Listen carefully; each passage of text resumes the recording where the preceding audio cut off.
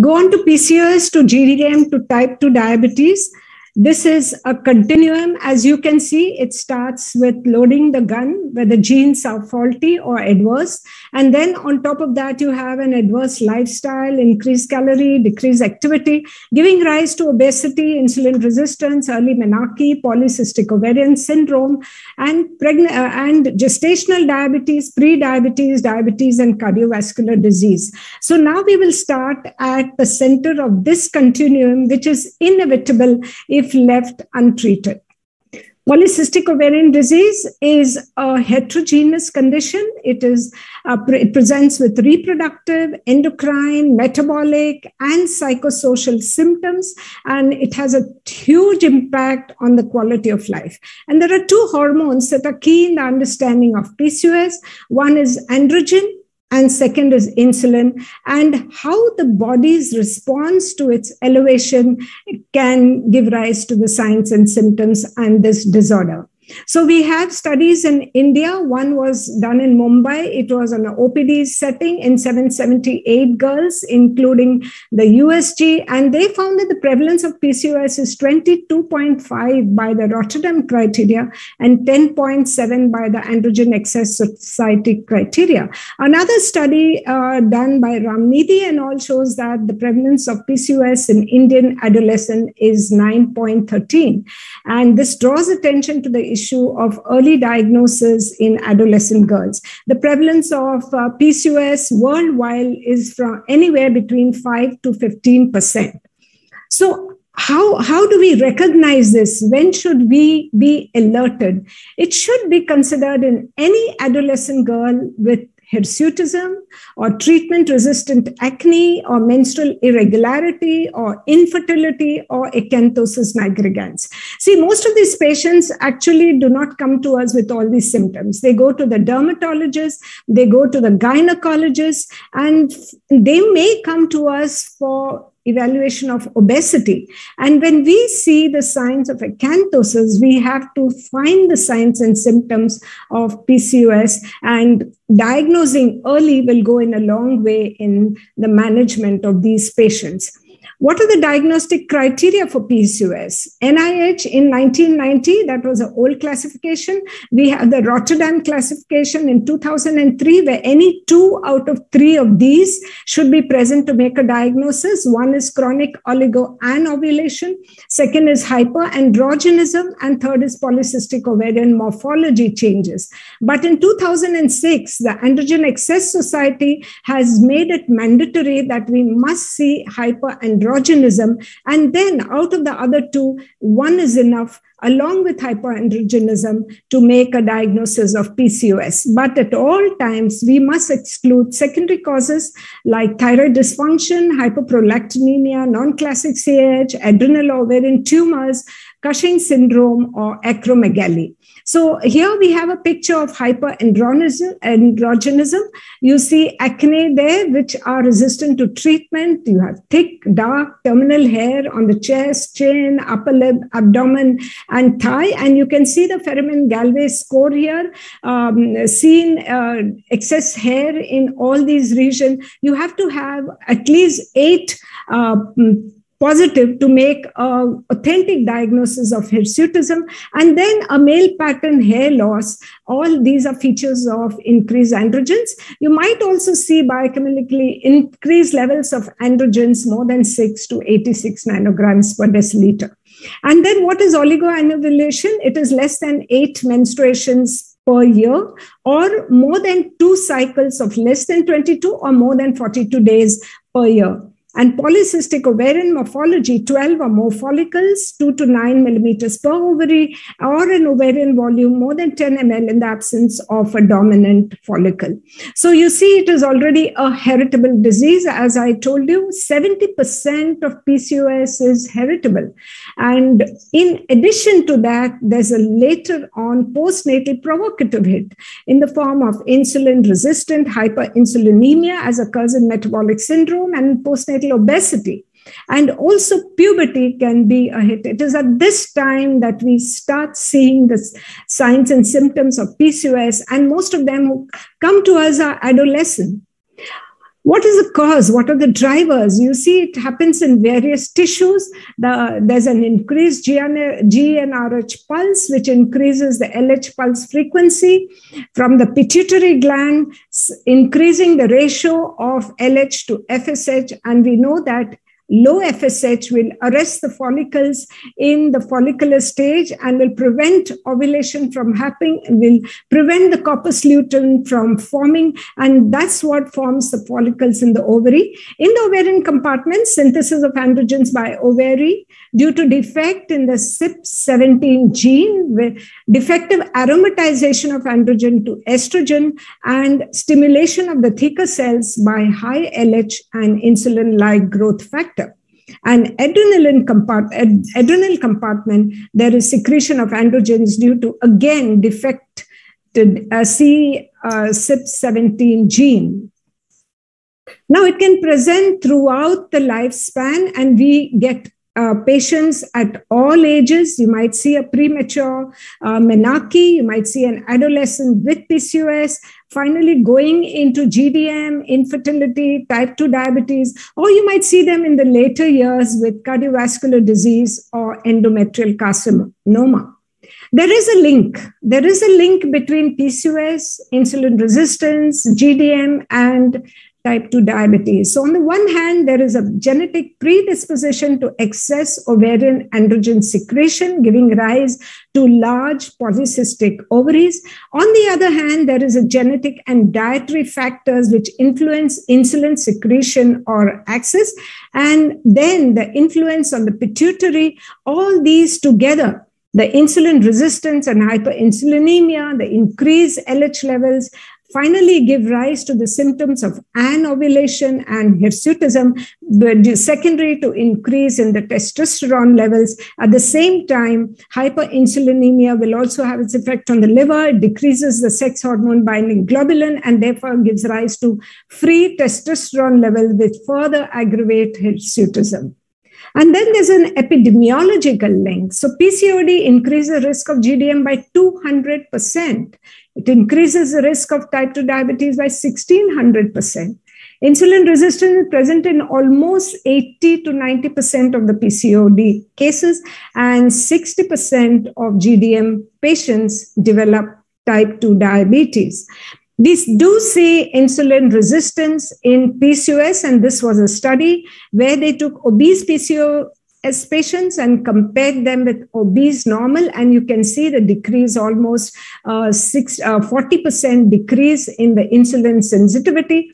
And then they took normal PCO, normal obese PCOS patients and normal obese normal people, and you can still see a 30% decrease in the insulin sensitivity, suggesting that insulin resistance is present in PCOS. There's also the prevalence of diabetes in PCOS. People, uh, PCOS women have an increased risk of glucose tolerance and type 2 diabetes. Even when we diagnose a PCS, at least half of them will have impaired glucose tolerance and at least 15% of them will have type 2 diabetes. So it is this hormonal imbalance that is aggravated by metabolic impairment that is a huge challenge for ovulation and fertility. And most of these patients go to the gynecologist, and you will see the rising incidence or prevalence of assisted fertility technologies that are required because 85%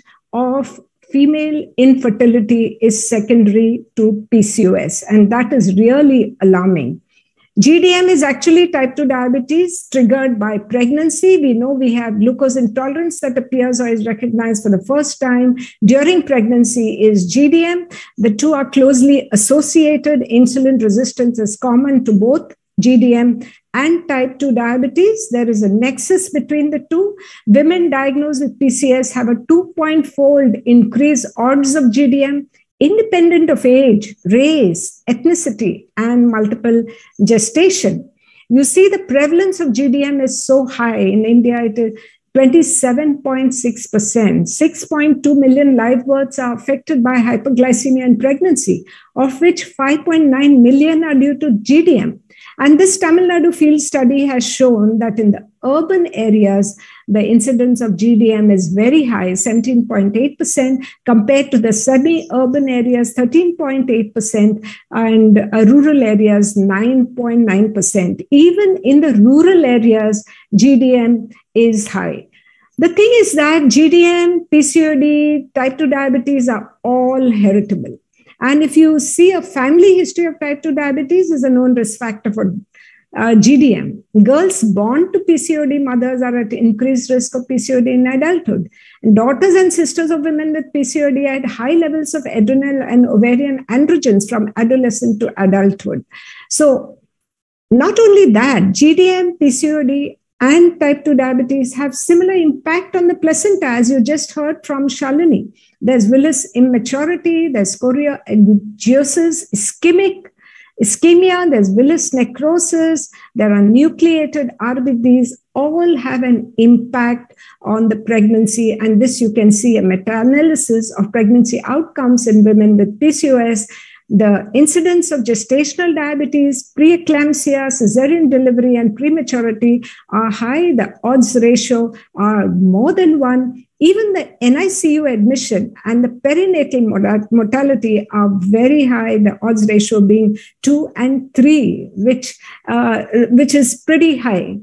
And also, the implications of GDM have adverse maternal outcomes and adverse neonatal outcomes. Shalini just told you all this, so I'm not going to repeat. But what I want to highlight is that maternal diabetes has also been linked to offspring that develop obesity, diabetes, and also neurodegenerative and psychiatric diseases, as well as low intellectual and verbal coefficient, language problems, motor in, impairments, attention deficit syndrome, hyperactivity disorders, and lot of problems with psychosocial development, which we are going to see much later after they're born or even after they uh, cross five years. And there's also a risk of type 2 diabetes and cardiovascular disease. It is difficult to nip GDM when it's developing the later you diagnose it, the more are the rates of perinatal mortality, neonatal hypoglycemia, preterm deliveries. The earlier uh, is the initiation of treatment, better are the outcomes. There are low rates of macrosomia, large for gestational age uh, infants. As high as 80% of GDM patients have impaired OGTT right at the first trimester. And therefore, screening at the second trimester, we might miss out on our GDM patients. Um, this is David Barker's uh, fetal and infant origins of adult disease. We know that underfeeding and overfeeding during pregnancy may lead to different pathophysiological mechanisms to insulin deficiency and type 2 diabetes in later life. Just take one scenario where the, when the mothers are overfed or, or there is hyperglycemia, the programming is for overproduction. Fetal pancreas secretes higher than normal insulin. This leads to early beta cell exhaustion. And finally, uh, in the children, when insulin requirement rises, pancreas fail to reciprocate. So you see type 2 diabetes and GDM in the offspring. On the other hand, underfed state where there's maternal starvation, you see there's programming for underproduction. The fetal pancreas produces less insulin. So the fetal pancreas production capacity gets compromised. And later on, when insulin requirement rises, the pancreas fails to reciprocate. So you get future type 2 diabetes and GDM.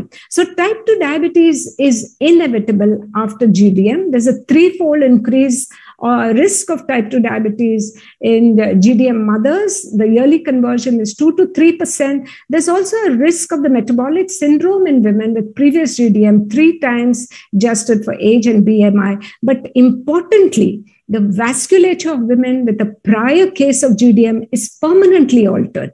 And this predisposes them to cardiovascular disease in later life. This is a WINGS database, and they wanted to see uh, the uh, amount of glucose intolerance over one year. And you'll be surprised that out of five women, one develops glucose intolerance within one year. This was done at the Chennai Research Diabetes Center along with the IDF. So, in the first year itself, 20% uh, patient, women become type 2 diabetic. And further studies by Dr. Yajnik and Dr. Gatuvi have shown that Indians develop type 2 diabetes after developing pretty early compared to the Western counterparts within five years. And that is very alarming. Even the Denmark study, where they looked at women six years after pregnancy of, uh, who had GDM, uh, you see 18% developed diabetes, 17% had pre-diabetes. And when they followed up these women 30 years later, 13, a total of 19 years, only a third had normal glucose tolerance out of 151 participants. Another study of 330 women, 41 had diabetes, 26 had pre-diabetes. So you can see that type 2 diabetes is inevitable. And this is the risk of gdm in future future pregnancies. So once a mother has diabetes and if she has a, the next pregnancy she has a 50% chance of getting gdm uh, in the next pregnancy. Now um, it's not only type 2 diabetes and GDM and, and these comorbidities. There are other comorbidities as well with PCOS, uh, which I think which are not talked about much. Obstructive sleep apnea is a, is a complication of PCOS, non-alcoholic fatty liver disease, which is a forerunner of type 2 diabetes. When, when the type 2 diabetes is brought pretty early, it's a risk factor for heart disease. And then you have um, depression and anxiety. And we often tend to forget the, the psychological aspects of PCOS and then endometrial carcinoma as well, besides the um, insulin resistance syndrome. And then in short, I'm just going to show you three more slides on treatment methods. This So uh, in PCOS treatment, this is a summary women who don't want to get pregnant and women who do want to get pregnant. We divide these. Those who don't want to get pregnant, contra- uh, combined oral contraception is the drug of choice. It helps treat menstrual irregularities, acne, hirsutism, reduces the risk of endometrial cancer and hyperplasia. In those who have hyperandrogenism, finasteride, spironolactone, and um, GnRH agonists are used. For those women who want to get pregnant, metformin is a treatment of choice they may have altered glucose tolerance. They, it helps regulate the menstrual cycles, treat the glycemia, and also achieve weight uh, loss. And those um, in infertility, we uh, can give clomiphene citrate and letrozole as an and as an adjunct treatment. Metformin can be given to these patients. But of course, you have to customize the treatment to every patient and uh, follow the lifestyle modification, decrease the calorie intake and exercise, smoking cessation. All these are very important for weight loss, which will decrease the insulin resistance and also the sign symptoms of PCOS and the androgen levels. In GDM, we know that um, this, I think Shalini already spoke the pre-pregnancy, but um, universal screening is um, necessary to curb this epidemic. And we know that the DIPSI guidelines tells us that we should do is the single step OGTT. So I'll not speak about this, but we need to educate the patient, uh, manage early, look, uh, prevent the steps for future deterioration, and make a part part of routine assessment of women um, to curb the incidence of gestational diabetes and type 2 diabetes. This is the national guidelines by the Ministry of Health and Family Welfare. So you see, if the 2-rpg is more than 140, you have to repeat the test after 24 to 28 weeks. If it is negative, you manage as normal. If it's positive, manage as GDM. And this is my last slide, uh, where the standard of medical care in diabetes 2020, American Diabetes Association, which says that insulin is the preferred treatment for GDM. Metformin should not be used as first line agent because it crosses the placenta to the fetus.